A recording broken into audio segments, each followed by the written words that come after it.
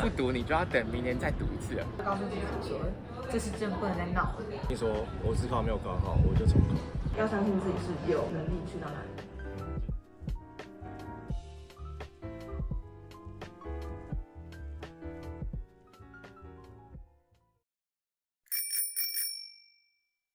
学测第一天的第一科考完之后，我就知道我画错卡了，所以我就当下就是别无选择，我也只能选择职考。有那个念头是一阶放榜过后，我只上一阶保底，我也就不太就是感觉不拼会后悔。朋友们好像都上还不错的学校，就觉得一定要冲起来，因为就是你只有上一阶嘛，然后那间就是你最后就走那一间了，就觉得你应该再给自己多一次。哎、我一考完学测就决定考职考，是就学测不是可以填六个科系，然后一颗星一百块嘛，我省了六百块。但我决定考职考的时候就已经是同时决定说，我自考没有考好，我就重考。所以我觉得你要考虑一下，你自考有可能没有考好，那你要怎么办？应届是因为我应届学测有考上台大公牌，但是我自己不太喜欢数学跟物理，因为我觉得我要走三类的科系，那种不需要用到数学跟物理的，所以呢，我才考自考。什么时候决定考自考？在考完第一天数学的时候吧，你们先回去做好你们的落点分析，看一下你现在学测这个分数，你到底能上怎么样学校。那知道之后呢，你再去查这些校系在以往历年职考的成绩，大概是会需要到达怎样分数才能上。我那时候我就有去查嘛，我那时候考五十六几分，然后我就去填了一些台大，因为我是三类组，所以我就填了一些台大三类，我好像是可以考的比那些分数还会更好的，所以我就觉得，那我到时候只考再差也不会比学测好差，嗯，所以我就决定要考职考。关于进度安排部分，就是由大方向到小方向。例如说，我会想说，我这个月想要完成什么样的事情？例如说，我想要完成北模第一次模考的这个范围，我就会再把它细分成，那我这个月的第一个礼拜，我可能要完成什么样进度内容？第二个礼拜完成什么样进度内容？因为准备分科的时间很长嘛，啊，所以可能有时候你就会真的遇到很不想要读书或者是读不下去的时候。是在学习计划上面要有点弹性，嗯大概就三四月开始写分科的讲义，然后五六月我会写职考、模考跟历届，然后还有一些就其他讲义，就七月最后那几个礼拜。就不会再刷题，我会去翻之前做过的题，最后几个礼拜就不要再做新的题，不然会挫折。我那时候有时候写到就直接去翻之前错过的题目，还有自己做的重点就好。嗯，我那时候是写题目嘛，写第一次，然后第一次错的会做记号，然后所以下一次就直接从错的开始刷，然后是后面也是一样就刷错。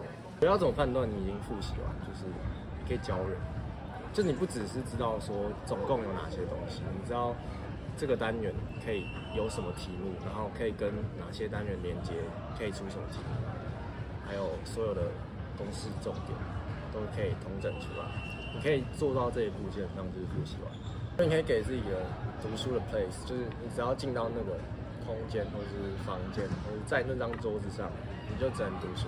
然后你只要一想要睡觉或划手机，你一定要离开那里。就你，就算你只是去其他桌子上睡也可以，这样会让你只要在那张桌子上就特别容易专注。那个化学跟物理的话，写历届超有效的。那、生物的话就是一直刷课本。我重考的时候，我课本大概读了六七次，最后考出来就是全国第好像二十九名嘛，就还好。睡一下。因为那个时候牙医系要考考那个素描跟那个雕刻，然后我觉得那个超好玩。然后那个 PBL 那些人，就模拟面试那些，就是跟别人聊天啊，然后我就一直去，然后就把那个平常的课业都荒废了。然后到放榜的时候，五五月才开始读书。我那个时候超错，准备二阶的话呢，你就会被那个准备二阶的那个气氛全部吸进去。各生跟分科的比重，我一天大概放三比七，就可能说一天花两个小时做背审，准备面试，然后其他时间绝大部分时间都在读书这样子。我觉得就是高三认真听，然后跟上学校的进度，然后呃呃其他时间再复习就。呃，进度的话，我那个时候是先以进度为主，然后因为复习的话，其实因为才刚考完学测，所以其实还蛮熟悉的。二月到四月的时候，并没有花太多的心思在完全完整的复习上面，就是先以呃预习为主，可能大概从四月开始，四五月开始才会是完全进入到复习的状态。我在五月的时候开始写历届题，因为我我我会觉得说，我想要先知道大考中心的出题方向，所以我就会先我就先写了可能九十九年到一百零四年的历届自考题。目，对对，那就大概知道呃考试的出题方向之后，我才会一边参加的模考，然后再一边参加的复习。但是在那之前的三四月，因为就跟我刚才有讲到，我会可能觉得我这个月我想要完成。第一次模考的复习规划，那我复习完这些进度之后，我就会去写北模第一次模考。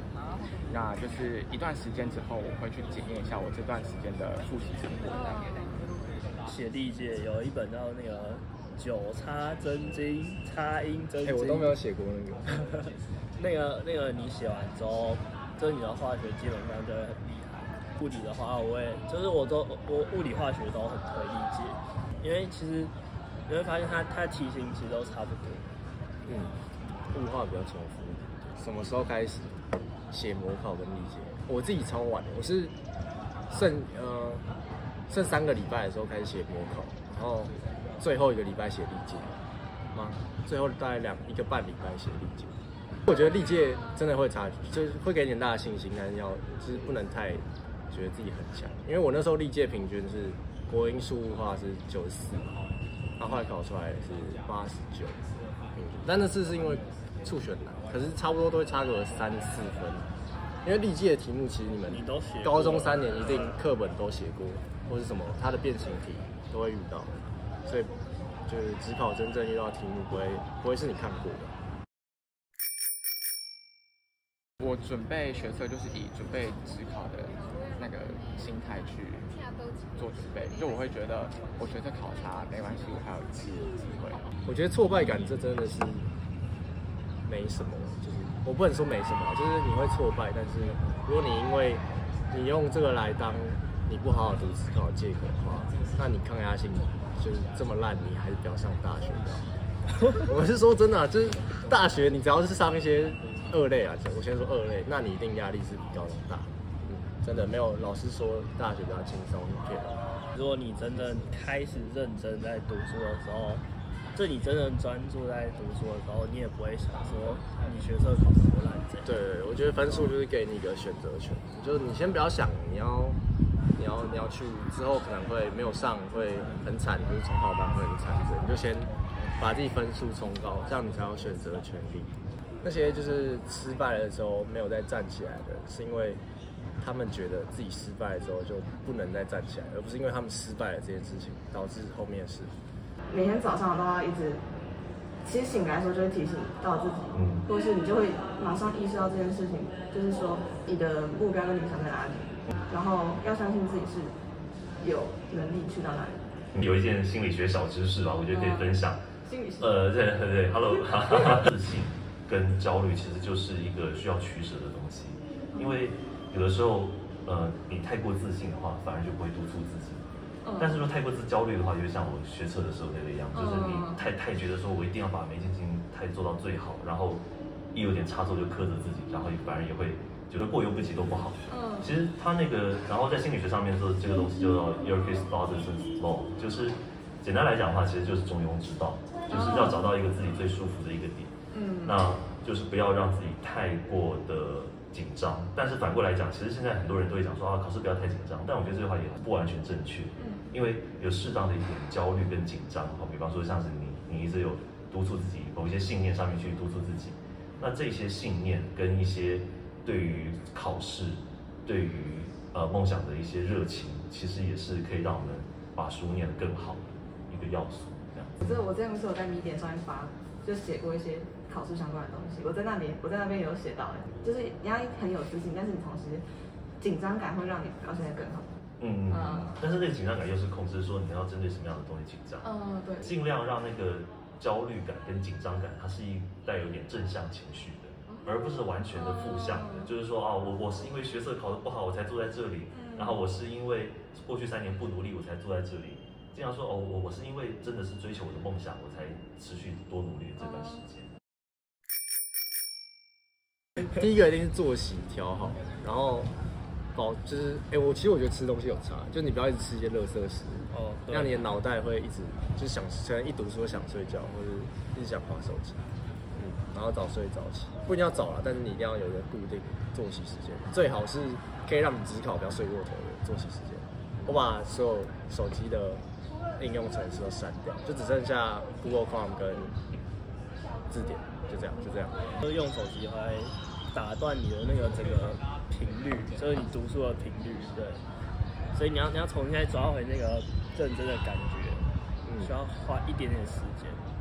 我会关掉所有的就是能够让自己玩的东西，什么社群平台啊、游戏啊，就那些有的没的，我就会先把它删掉。嗯，然后就告诉自己说，这是真不能再闹了。这是真不能再闹。我觉得同才的力量蛮重要的。就是你当你开学之后，然后当看到大家其他要考自考的人开始念书，然后这个时候就会觉得说，呃，大家一起应该要一起努力了。我是从开学的前大概三天四天，我就开始慢慢的去把书本拿回来开始读书。就我觉得这是一个循序渐进，当然不可能逼迫自己刚开学的时候就马上进入到那个冲刺期嘛。所以我就是慢慢的把感觉给抓回来。我可能今天读多少，那明天可能再读多读一点，然后慢慢去找回那个读书的感觉。不要想，这是最后机会。哦，是要想这是最后。这是最后机会，你再不读，你就要等明年再读一次了。那时候看到繁星就上同学，其实真的是觉得他们超爽的。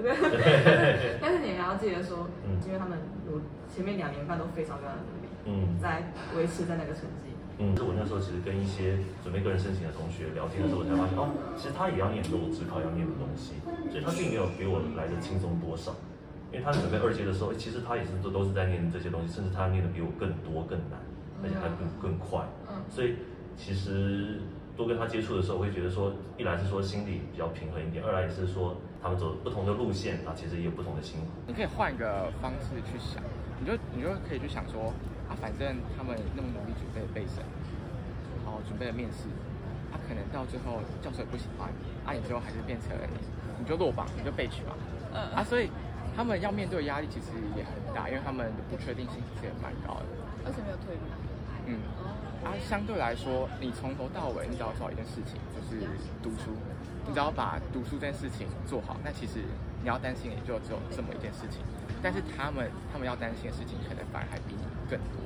对，觉得不平衡，你就把就是看得到朋友的东西都关掉啊。你可能就请假在家，就看你怎样。你如果看到朋友会朋友会觉得烦，你就看你怎样怎么看不到朋友就去哪里啊。你自己的目标放的比周遭的同学还要高的时候，你就你不太会被那些，就不太会被同学已经学车上的影响。那时候就是有时候会被。被同学讲他说哦，我就是不，我就是没有考职考，然后你考职考有点可怜哦。嗯。然后但我那个时候，就是如果面对到这种言论或是评语的话，我觉得你可以用这种心态，就是我还有更大的机会可以考比你更好。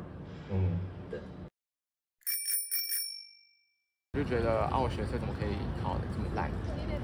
嗯，所以我就觉得只考至少要扳回一城的感觉吧。因为那时候大家都有大学，各省的人都有大学。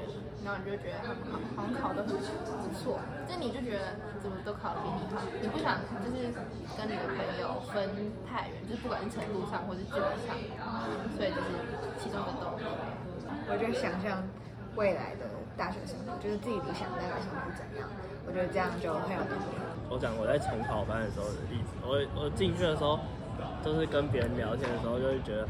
啊，我那个时候啊，都是他差三分了嘛，对不对？啊，我重考的话，一定是什么台大、阳明，所以是怕被笑，对，怕最后没上被笑。这这其中一个。然后想，呃，你考上好大学是为了什么？就是你要有一个自己的原因，而不是大家社会这样觉得。考上好大学就是人生胜利组，没有，你要。你要知道自己要的是什么，你要找到你比较更远之后的目标，不只是放在大学，就是你的目标一定不会，人生目标你不会是考上台大，你又不是只花二十二岁，你有自己的目标，你会更开心吧？你会更有动力。我记得我在考职考前的时候，我就做了一件事情，我那时候就对于心理学啊，然后这种临床，呃，临床心理这一块很有兴趣。所以我那时候就去找了很多考试焦虑要怎么样处理的一些研究研研究来看，然后就想说啊，以后如果真的可以顺利考上心理系的话，那我那我那未来就可以过上这样的生活，就是可以看好每天看一些这种有趣的研究，找一些诱因来刺激自己吧。对，可以亲自走到那个学校去看那个氛围跟感觉，你会更确定说你真的想要来这边上课，以后想要在这边度过四年或是五年。对对对。你对大学的想象还有点模糊的时候。那我就建议你就真的是走一趟校园，嗯，你也可以去走很多学校看看，就是比较一下，搞不好你就更知道你想要去哪里。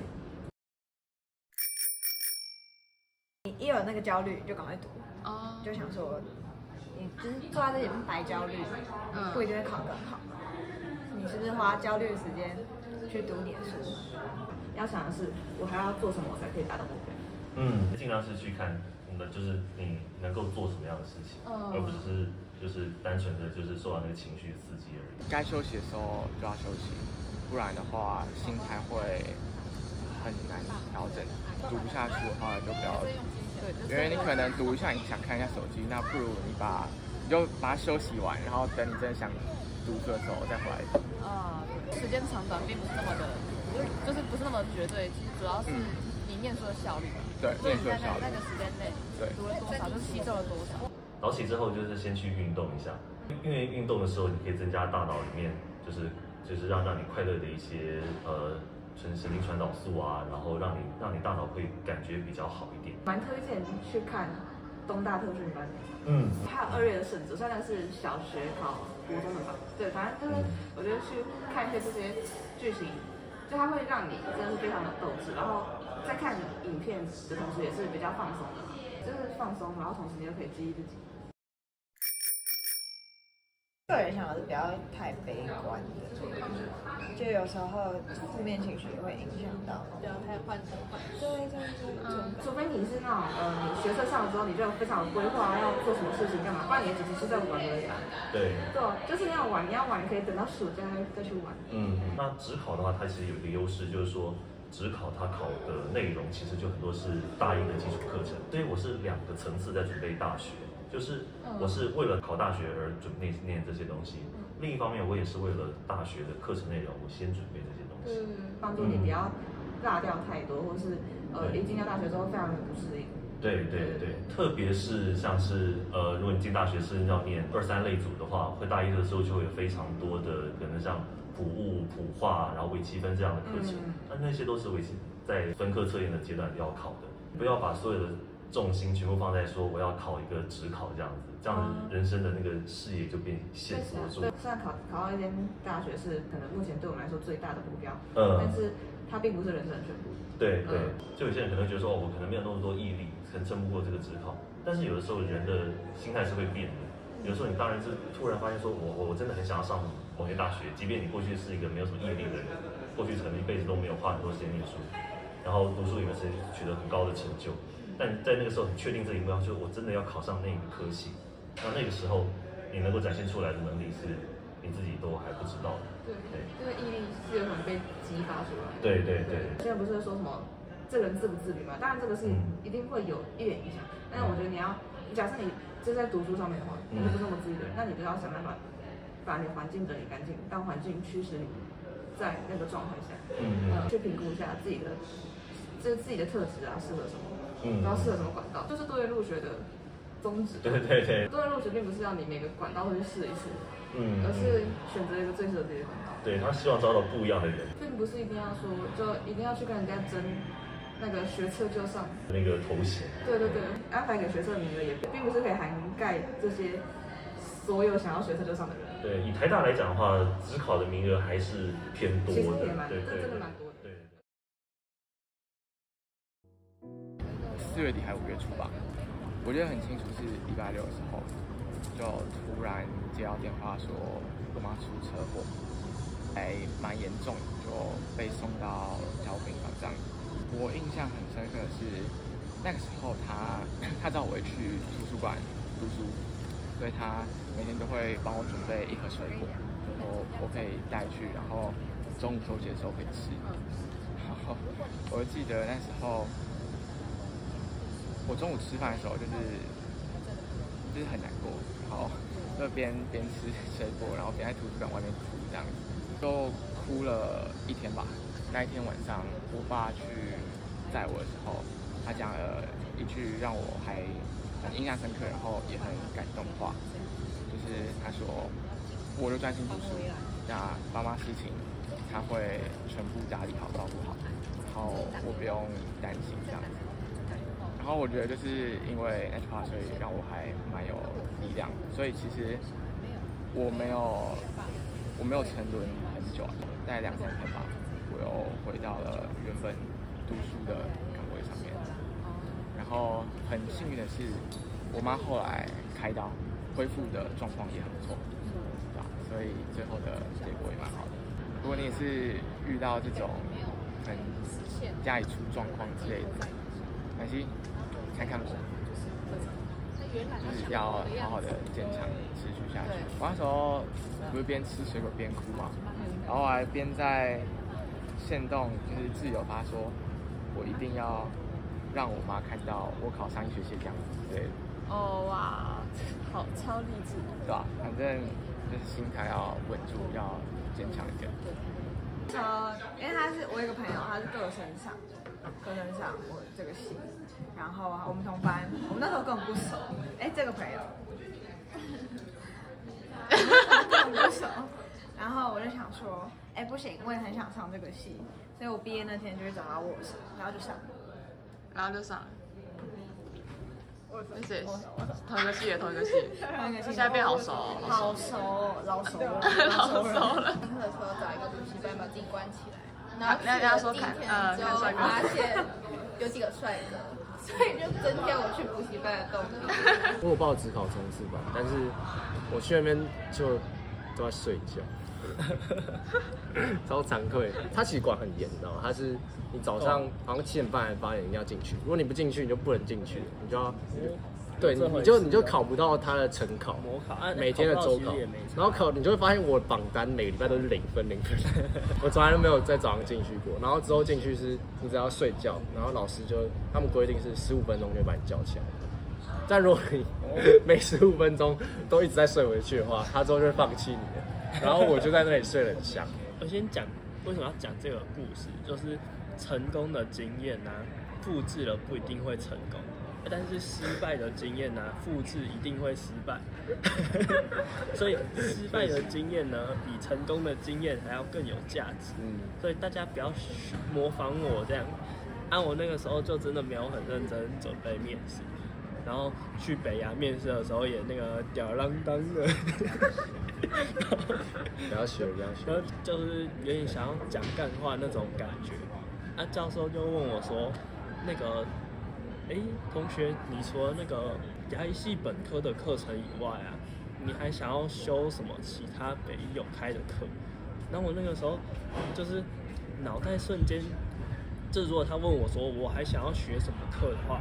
我一定能讲出来，但他的关键字是什么？北医有开的，哇，这题就难了，根本就不知道，是吗？对啊，然后我就想到啊，我朋友有 po 一篇很废的线动，他那个线动的那个内容就是他修了一堂很废的课，他叫做城市设计。那那我也只知道这堂这堂课，啊，其实我那个时候也觉得这堂课很有趣，所以我就讲出来了。他其实会讲出这个来，这个出来的原因呢，有好几个，就是我小时候呢，想要当那个室内设计师，呃，啊，长大之后就从重考之前是考上台大土木，啊，我其实也觉得土木不错。只是因为我不太喜欢数学，所以我就决定重考这样。数学跟物，所以我决定重考。哎，听到这边你们是不是觉得很奇怪？啊，那个城市设计跟什么室内设计啊、土木有什么关系？哎，那个时候教授也是这样觉得。他是先问说，你学的那个城市设计对未来之后当牙医有有什么帮助？然后我说靠腰有什么帮助？我怎么知道？然后我就跟他说，哦，就可能那个我以后诊所可以开的比较漂亮，就融入当地的这个文化特色。所以他就问问我一个问题啊，那你，请问你说的是那个 CT design 还是 program design？然后放榜的时候我就开始划手机，然后就划划划划划，哎，怎么划到很后面才看到我的名字？那大概有我不知道几页，反正超多页的。因为那个时候北洋面很多，那就划划划划超多页，然后才发现自己的名字。然后说：“超 好笑，蛋啦！”你再不读，你就要等明年再读一次了。哎，对，对，明年再读一次很惨。懂。没有没有。还很喜欢牙医，可是很喜欢牙柱，很喜欢牙，都有。还没有牙柱啊？都有。改变能改变，接受不能改变。没错。嗯。今天很多金句。啊，来来来来上那个就就这么厉害的一个 YouTube 频道，是不是？太好了，太好了。录到闭口。那我要那我要剪到什么时候？